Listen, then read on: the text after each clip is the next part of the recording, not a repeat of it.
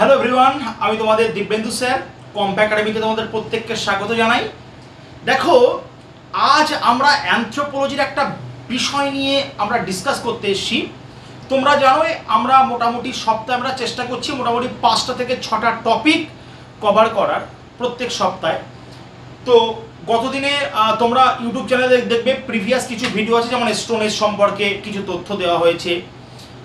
Kingship যে behaviour সম্পর্কে কিছু তথ্য দেওয়া হয়েছে। তো আমরা হচ্ছে লাস্ট দিন যেটা করেছি সেটা ল্যামার্কিজম সম্পর্কে তথ্য দেওয়া হয়েছে, যেটা ডাব্লিউবিসি দু হাজার তেইশে এসছে। অ্যানথ্রোপোলজির ভয়টা কাটানো এবং অ্যানথ্রোপোলজির মাধ্যমে ডাব্লিউবিসিএস গ্রুপ এবির জন্য তোমার পথকে সুগম করাই আমাদের মেন লক্ষ্য। কারণ ডাব্লিউবিসিএস এক্সিকিউটিভ গ্রুপ এবির ক্ষেত্রে সব থেকে বেশি সিলেকশন স্টুডেন্ট কিন্তু অ্যানথ্রোপোলজি থেকে পায়। এর জন্য যেন প্রত্যেকটা কোয়েশ্চেন তোমাদের কমন আসে, তার সমস্ত দায়ভার আমাদের। এবং তার তোমার কনসেপ্ট সম্পর্কে অবগত করার জন্য আমাদের এই কনসেপ্ট বিল্ডিং ক্লাসে তোমাদের প্রত্যেককে স্বাগত জানাই। তো আজকে আমরা যে টপিক রেখেছি, সেটা হচ্ছে মোড অফ আজ আমরা যে টপিক রেখেছি, সে টপিক হচ্ছে মোড অফ এক্সচেঞ্জ কি রেখেছি বলো? আমরা রেখেছি মোড অফ এক্সচেঞ্জ দেখো, সেই ছোটবেলা থেকে আমরা একটা জিনিস পড়ে আসছি, কি? যে বিনিময় প্রথা। কি বললাম? আমরা পড়ে আসছি বিনিময় প্রথা। বিনিময় প্রথা বলতে কি? বিনিময় প্রথা বলতে যে, ভাই, আমার কাছে এটা উদ্বৃত্ত আছে। আমি তোমাকে এটা দেব। আমার কাছে যেটা নেই, তোমার কাছে যেটা উদ্বৃত্ত আছে, তুমি আমার কাছে দাও। আমরা দেখেছি প্রাচীনকালে গরু দান প্রথা চলতো। মনে করো, কেউ মনে করো একটা গরু দান করল, দান করার পরে কেউ মনে করো দশটা, মনে করো গোট পেল। কি বললাম? দশটা ছাগল পেল। তাহলে একটা গরু সমান দশটা ছাগল। তো এইরকম গরুর মাধ্যমে আগে বিনিময় চলতো।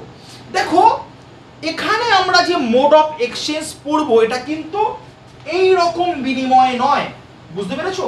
দেখো মোড অফ এক্সচেঞ্জের মধ্যে আমরা অ্যানথ্রোপোলজিতে একটা সাইড চলে যাবে কিন্তু সেরিমোনিয়াল এক্সচেঞ্জ সেরিমোনিয়াল এক্সচেঞ্জ এটা একদম আলাদা জিনিস, এটা আমি আলাদাভাবে তোমাদেরকে অন্য ক্লাসে ব্যাখ্যা করব। সেরিমোনিয়াল এক্সচেঞ্জ সম্পর্কে দু চারটা তথ্য আমি এই ক্লাসে দিয়ে যাব। এবার দেখো মোড অফ এক্সচেঞ্জের মধ্যে প্রথম যেটা পড়ছে সেটা হচ্ছে reciprocity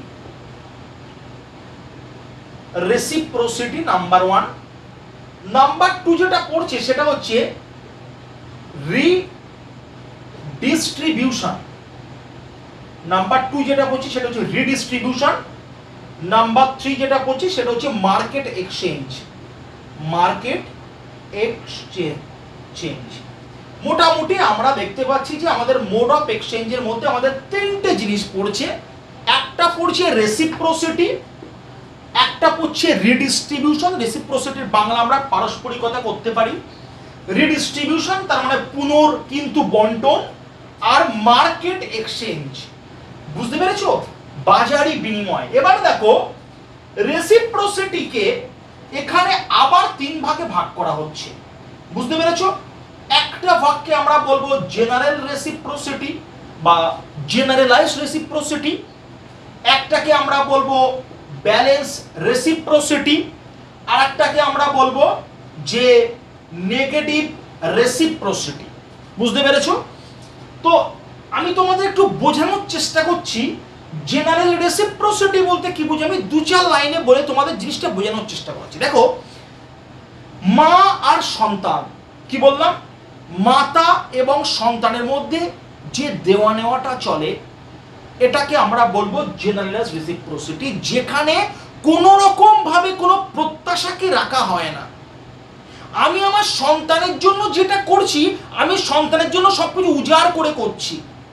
কোনো মা বাবা তার সন্তানের জন্য যেটা করে, সেটা কিন্তু কোনো কিছু ফিডব্যাক পাওয়ার আশায় করে না। মনে করো, আমি এখানে উদাহরণ দিচ্ছি প্যারেন্টস কোনো প্যারেন্টস বা কোনো মাদার বা কোনো ফাদার কিন্তু কোনো সন্তানের জন্য কোনো কিছু করে না। সন বলো বা ডটার বলো, তার জন্য কোনো যেগুলো করছে তার ইচ অ্যান্ড এভরি তার খরচা, তার পোশাক থেকে শুরু করে তার হচ্ছে রোগ থেকে শুরু করে তার ট্রিটমেন্ট থেকে শুরু করে তার ফুড থেকে শুরু করে তার টিউশন থেকে শুরু করে তার ইচ অ্যান্ড এভরিথিং যে সমস্ত খরচা কোনো মা বাবা তার সন্তানকে চালাচ্ছে, তার জন্য মা বাবা সন্তানের কাছ থেকে কোনো কিছু এক্সপেক্ট রাখছে না যে হ্যাঁ তুমি আমাদের যখন বয়স হয়ে যাবে, তুমি আমাদেরকে দেখো।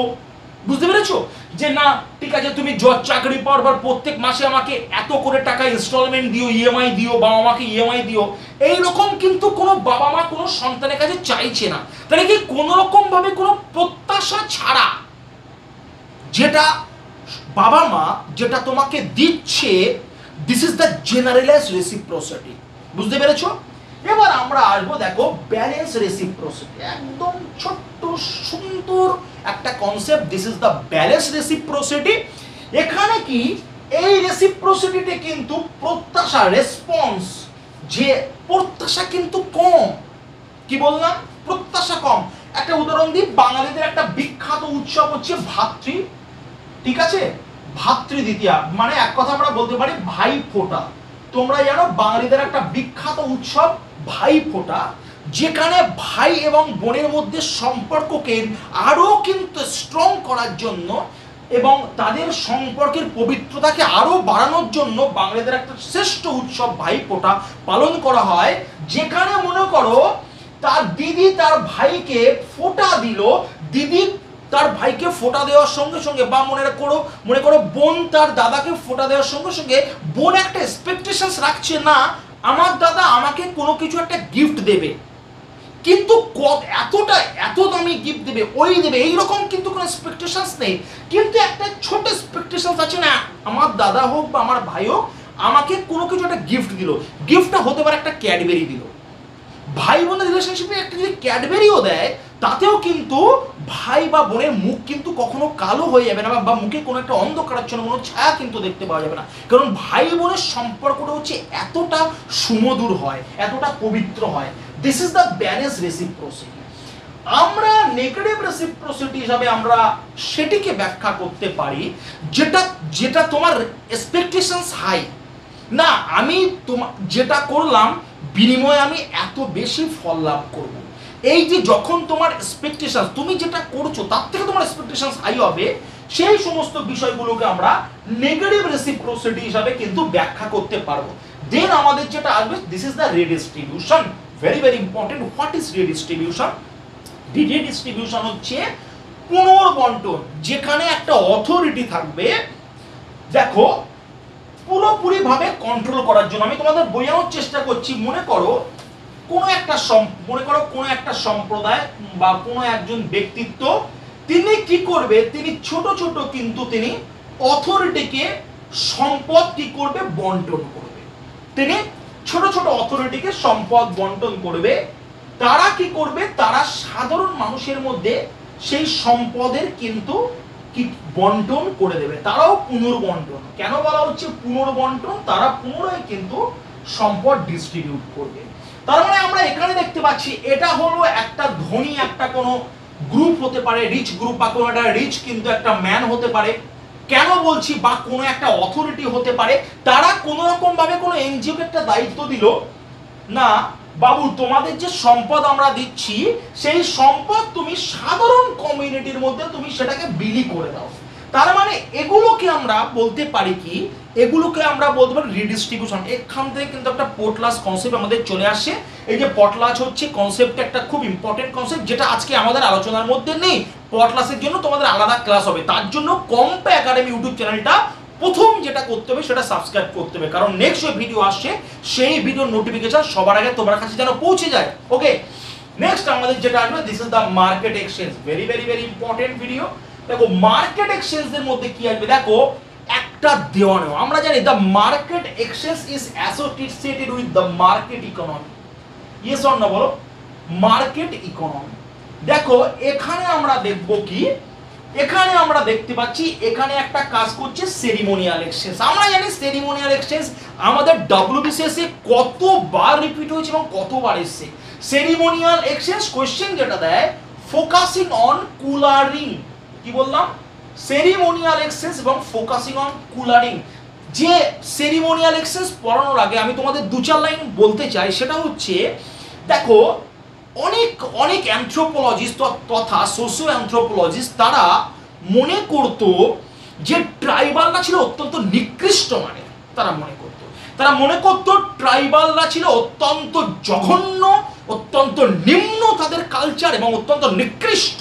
কিন্তু যখন ট্রবিয়ান দ্বীপপুঞ্জে ব্রনিসোলো ম্যালিন্সকি আমরা সব থেকে জানি যে অ্যান্থ্রোপোলজি নোট লেখার জন্য যখন আমরা কোনো কিছু একটা ডেফিনেশন ব্রনিসোলো ম্যানিস্কির দেব, রবার্ট ব্রাউনের দেব, রেডফিল্ডের দেব, বিভিন্ন অ্যান্থ্রোপোলজিস্ট তারা হচ্ছে ট্রাইবালদের কালচারকে অত্যন্ত জঘন্য এবং নিকৃষ্ট মনে করতো এক্সেপ্ট দ্য ব্রনিসোলো ম্যানিস্কি। তিনি দেখলেন একটা অবাক কাণ্ড। তিনি দেখলেন ট্রাইবালদের মধ্যেও কিন্তু এক্সচেঞ্জ হচ্ছে। সেরিমোনিয়াল এক্সচেঞ্জ হচ্ছে। তারা তাদের এই যে সেরিমোনিয়াল এসে তাদের এই যে কুলারিং প্র্যাকটিস এটা কিন্তু তার মনকে অত্যন্ত মোহিত করে দিয়েছিল। এবং তিনি বড় বড় করে তার স্বর্ণাক্ষরে কিন্তু তিনি ট্রাইবাল কালচারের উপরে যার যে স্টাডি তিনি স্বর্ণাক্ষরে লিখে গেছেন এবং ট্রাইবালদের কথা। তিনি দেখেছেন যে ট্রাইবালরা অত্যন্ত আবেগপ্রবণ ট্রাইবালরা কিন্তু একে অপরের জন্য কিন্তু বিপজ্জনক সমুদ্র যাত্রা পর্যন্ত করেছে যেখানে তাদের প্রাণ পর্যন্ত চলে যাচ্ছে। তবুও কিন্তু তারা পিছপা হচ্ছে না। এই হচ্ছে বিষয়, এই হচ্ছে ট্রাইবাল সুতরাং আমরা যারা অ্যান্থ্রোপোলজি পড়ি বা যারা পড়াই, আমাদের কিন্তু ট্রাইবালদের উপরে একটা আলাদা ভালোবাসা বা শ্রদ্ধা সবসময় থাকবে। আর তোমরা ডাব্লিউবিসিএস এর জন্য ফোকাস করো ডাব্লিউ ডাব্লিউবিসিএস সিভিল সার্ভিসের জন্য। তোমাদের জন্য অত্যন্ত সুখবর, আঠারোই অক্টোবর থেকে একদম নিউ ব্যাচ চালু হচ্ছে। অ্যান্থ্রোপোলজির জন্য, আর অলরেডি কিন্তু সেপ্টেম্বরের ফার্স্ট উইক থেকে একটা নিউ ব্যাচ চলছে, যেটা তিনটে ক্লাস হয়ে গেছে। যদি মনে করো না তুমি তিনটে ক্লাসের রিকভারি তুমি করে নিতে পারবে, তাহলে সেপ্টেম্বরের ব্যাচে জয়েন করে যেতে পারো। যদি মনে করো না, আঠারোই অক্টোবরের ক্লাসে তুমি জয়েন করতে চাও, যাদের যাদের অ্যান্থ্রোপোলজি প্রবলেম আছে, যারা অ্যান্থ্রোপোলজি কোশ্চেন আনসারকে আরও ভালো করে লিখতে চাও আরও ভালো করে তারা তৈরি করতে চাও, তারা অবশ্যই কিন্তু উপরে তোমাদের যে নাম্বার ভিজিবল হচ্ছে, সেই নাম্বারে তোমরা কন্ট্যাক্ট করে নিতে পারো। তোমরা প্রত্যেকে দেখতে পাচ্ছ অ্যান্থ্রোপোলজি নোট দেখো, এই হচ্ছে অ্যান্থ্রোপোলজি নোট যে নোট কিন্তু সম্পূর্ণ বুকলেট হিসেবে পাঠানো হয়। অনলাইন ব্যাচের ক্ষেত্রে অনলাইন ব্যাচের ক্ষেত্রে কোনো রকমভাবে নোট কিন্তু পিডিএফ ফাইল শেয়ার করা হয় না। দেখতে পাচ্ছ নোট কিন্তু একদম সুন্দরভাবে, এইভাবে কিন্তু তোমার বাড়িতে নোট পার্সেল আকারে পাঠিয়ে দেওয়া হবে। দেখতে পাচ্ছ তোমরা?